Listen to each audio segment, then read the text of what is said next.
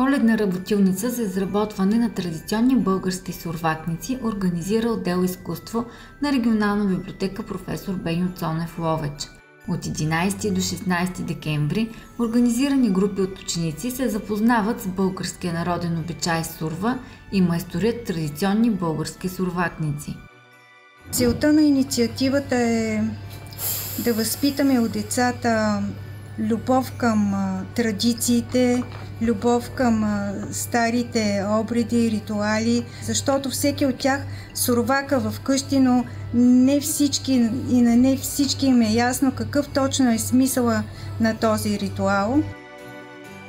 Целта е да се стимулира интересът на децата към народното приложено изкуство и творчество, да знаят от какво трябва да е направена една традиционна българска сурвакница – на една традиционна българска сурвачка традицията повелява да има а, както плодове, а, ако трябва да се придържаме нали, към истинската традиция, е какво е вълна, задължително, бяла и червена, а, плодове, може и а, семена, бобови зърна, а, примерно накиснати а, във вода, за да омекнат и така ги нанизваме по-лесно.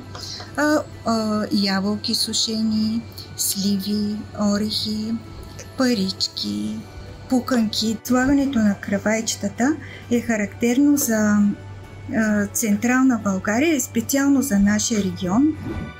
До момента в работилниците са участвали над 150 деца, сред които и второкласниците от основно училище Христо Никифоров. Първо взехме пръчка от дрян, сложихме пуканки, кори на мандарина и сложихме за украса, може вълна, сушени плодове, люта чушка също да е сушена и друго.